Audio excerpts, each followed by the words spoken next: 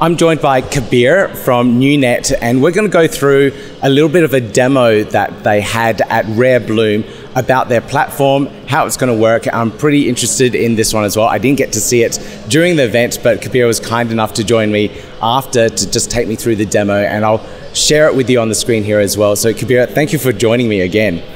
Thanks for inviting. So, let's go through the demo here. So, what exactly are we looking at at the moment? So, the thing that we demoed uh, during this event is basically the main component of the platform uh, in uh, in a yeah demo prototype version, which was just just released now, a few days ago.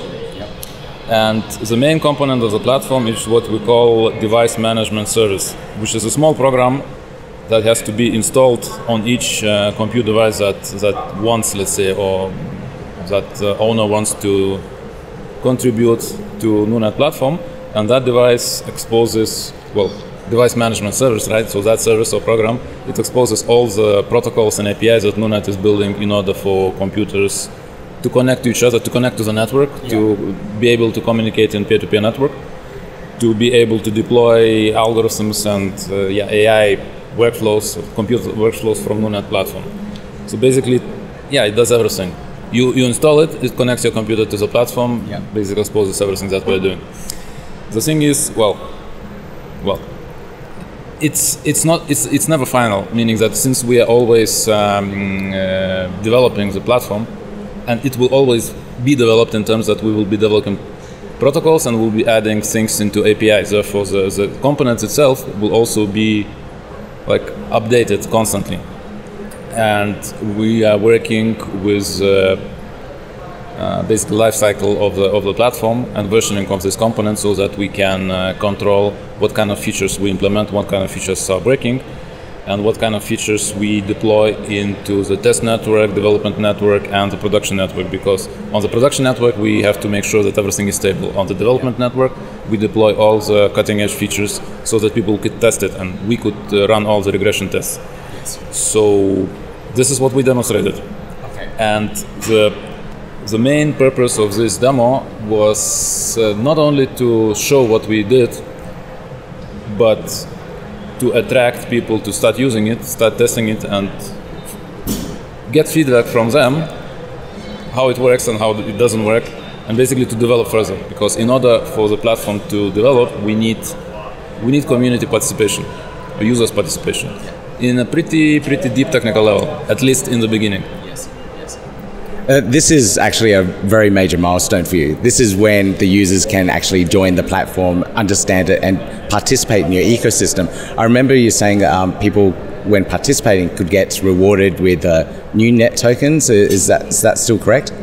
Yes. So we, uh, I think, last month we started. Uh, we launched what we call NuNet Drops program, which is designed so the program is basically a framework how we are going to uh, reward any community members or any people who will uh, participate in the development of the platform, which can be many many angles, including technical. Yeah. And the end drops, as the word say, we we drop uh, NTX certain amounts. So we, we design campaigns where we, we design amounts of, of, of NTX for certain uh, contribution to the platform, depending on what exactly we incentivize at, at, each moment.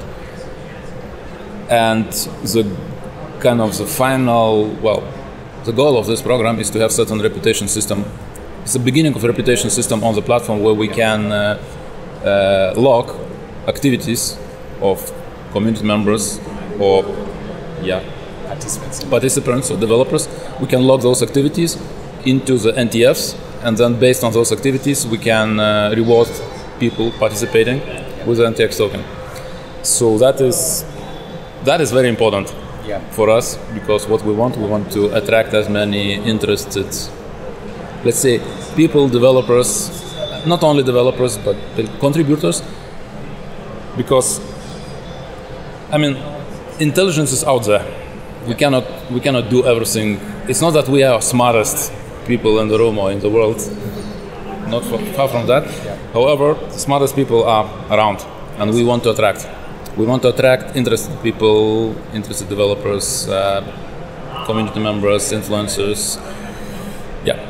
Well, I hope hopefully at this uh, Rare Bloom event you did attract a lot of people. But let's go over the demo that we have here as well. So this looks like a, a Git repository that we're looking at the moment. And I'm assuming this is where um, a participant can get the code from and start um, implementing it. What, what we're seeing now Yep. is all our all our development is, is, is we're basing it on GitLab.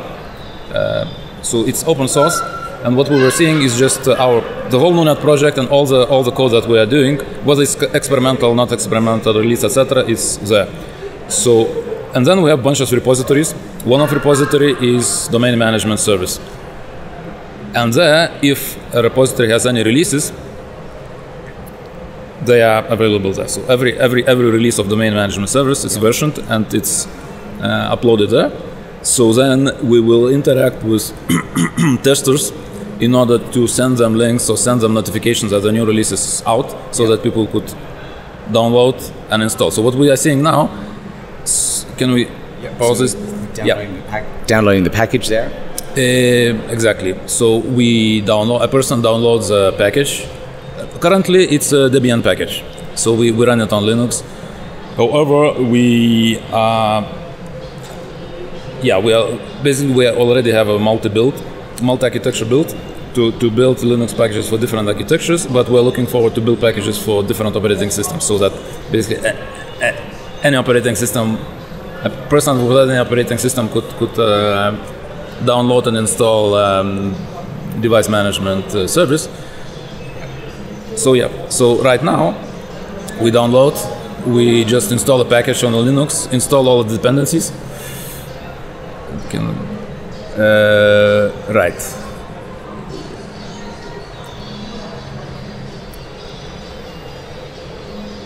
So it's for, for, for Linux users, it's just uh, no-brainer. You just install a package. Yeah. It's pretty pretty easy and straightforward uh, for any uh, stake pool operator or anyone that that's, uh, understands servers. And since since this this use case is uh, directed to stake pool operators, we know that everybody is working on Linux, so that's that's why we built this package first. Yeah. so now when the package is built, there is uh, CLI, I mean command nunet exposed to an operating system, which basically we have a bunch of um, options. Nunet is connection con- uh, CLI connection to the to the this DMS, I mean domain, what's that? Device management service. Sorry. Now, we have bunch of uh, bunch of commands with that, which is we can check how much uh, resources available are on the computer that the, the package is installed. So just Nunet available gives you a list of, of, of how powerful is the computer. Yeah. In a, yeah, exact numbers. Meaning that this is a maximum number that a person can contribute to Nunet. However, uh, uh, compute provider is not let's say obliged to give the whole computer or to, to, to sort of provide the whole whole computing power of, Yeah. of the whole machine Yeah. they can decide to give half or something like this so then we have yeah and if wallet command known as wallet command means to get uh, current wallet address which is installed. On board actually there is a possibility to uh, to uh, so when, a person um, onboards computer we ask to give a wallet address where the rewards for the compute uh, usage will be sent by Nunet and since we are blockchain agnostic right now it's it's on Cardano so we ask for the Cardano wallet address in order to, to have this uh, to connect it to tokenomics API.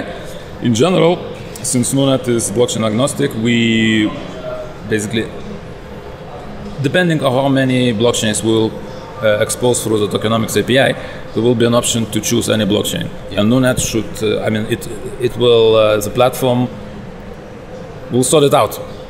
and wh- wh- what it what it enables actually is that different people will connect, uh, may sort of connect to different blockchains with the uh, device management services, Yep. and then Nunet will settle the payments for. It could be that one computational process will require payments to different blockchains. Yeah. So Nunet, this this this this um, device management service, it will handle this under the hood. That's so people, yes, So now, now you can attract users from all different ecosystems more easily. basically yes. So from our perspective, we are doing computation, and we are using blockchain or NuNet platform using blockchain for what is needed. Of course, of course, there, so there will be a little bit bigger problem. I mean, it's not a problem; it's a challenge, Yeah. which is solvable. When we will, because we sign smart contracts and escrow accounts when when computer and uh, algorithm or the one who requests computing and the one who provides um, provides compute power, they basically enter into contract Yeah. and agree on the price. Yes. So when this is uh, multi-chain, it will be more challenging to make it. Yes. Right, but right now it is done on, on Cardano. Yeah. So yes, so uh, yeah, basically people can uh, can uh, generate new wallet or give their own wallet that they're using for, for, for, for getting rewards from Nunet. Uh, the command on board is exactly that. I think, yeah, the command on board allows you to uh, indicate how much memory CPU uh, one wants to, to sort of provide to Nunet for usage. Uh, now, Nunet channel is an important uh, parameter because Nunet channels means what I mentioned um, some time ago is these different. It's a kind of virtual private networks on which we will be running development network, production network, or any any network that we want to test certain features, for example. So that may be basically it's open-ended uh, list, and when we will um, we will start communicating with the community developers and asking to test certain features, which is not yet done but coming soon, based on this on this uh, package, Yeah.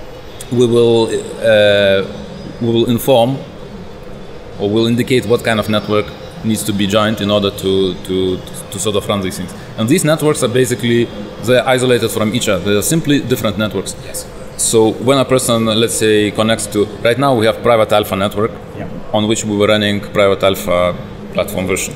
Then we have development network on which we were testing private alpha. The development network will just stay there. It will be just cutting edge. Then we will have uh, public alpha network, and when people will join to these networks, they will see only only those computers which join those networks. They will not see anything else. And then we come to a next, I think, command, which is it should be nunet peers. Ah, this is an onboarding. So this is a command, like exact command that on board computer was, I believe, How much memory it is. uh, yeah, probably four gigas memory. Uh, CPU is yeah more or less half of what's what's available. yeah. Uh, I believe now it will be uh, name of the of the channel, which is development uh, development um, network, and here is the address. So the address was generated, new address with a with a command nunet wallet new. That looks like a And then you just paste. Pardon? That looks like an Ethereum base Yeah. address too. Yeah. And C, I believe that C means that we save it into the file. So, and th- this is the metadata of the machine which saves somewhere securely. So that all other, all the NuNet network can, uh, basic platform can ask what what are the capabilities of the machine, and people will be able to change this via this command based Right. on the preferences. Right. Uh, now we see that no, DMS basically spawned a couple of yeah nunet peer command. It lists all the computers that are Right. connected to the network, Yeah. and that is that is the end of the demo, and that demonstrates how we are going to connect uh, yeah peer-to-peer network to how how every machine in the network will know about uh, every other machine. So basically, the way it works, uh, we have the uh, DHT, which is distributed hash table on each uh, device management service, so that and since it's so it's it's um, synchronized all the time between machines, so every machine knows addresses of all the other machines. So which what it gives is that we can deploy compute workflows in a decentralized way that every machine will know what are the what are the resource availabilities in the network, and if it gets requests to deploy certain service, it can route this request to the next machine which has these resources. Yep. So, and by that, we do not need centralized component in order to deploy resources on, on Nunet. Very nicely, very, very nicely done. Very short, very short uh, explanation. I think Yeah. I can spend more time on that. Yeah, I can imagine. It, it will get very detailed. And I, I, I know it t- would have taken quite a lot of engineering to get to this point as it is, but it looks, uh, from my point of view as a SPO, a very easy process to start spinning up and providing resources.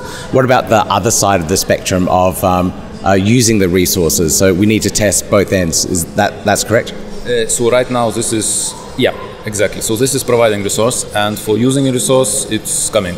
Okay. All right. So, but basically, it will also be CLI for this for this. Um, I mean, for this use case. Yep.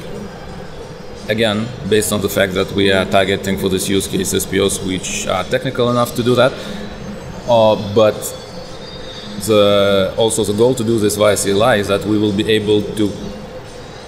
Basically, we would actually we would like community developers to pick it up and to develop uh, user interfaces Yeah. which can connect to the domain uh, device management service using CLI and do everything that people can do with command line. And in this way, we can maybe have, let's say, alternative user interfaces based on what is needed. Okay. Prefer, prefer. You, you've set the challenge now. So now uh, we, we can see what um, is possible on the command line level. And now we can now build the interfaces what we want as stake pool operators uh, to join and uh, interact with the platform. Yes, and not only interfaces, but also request features that, that you would see useful in order to use a, the product. All right, brilliant, Kabir. I'm pretty excited about all this. I will give it a go myself and see um, uh, how it works, and I'll give everyone a, another demo as well, so that they can, if they're interested, they can participate in this ecosystem too. Kabir, it's been a pleasure catching up with you and meeting you in person. Uh, I know we were quite busy over the weekend with your presentations and everything as well, but it's really good to see you, meet you, and shake your hand. It's been a pleasure. Likewise. Thanks. Yeah, yeah, gotta do it like that. You've been listening to the Learn Cardano podcast. Gotta get it hype. Crypto is what we like, but this is not investment or financial advice. Gotta do your research, cause it's risky. We know it is. This show is educational and it's informative. Crypto's the future, really, it ain't no debate.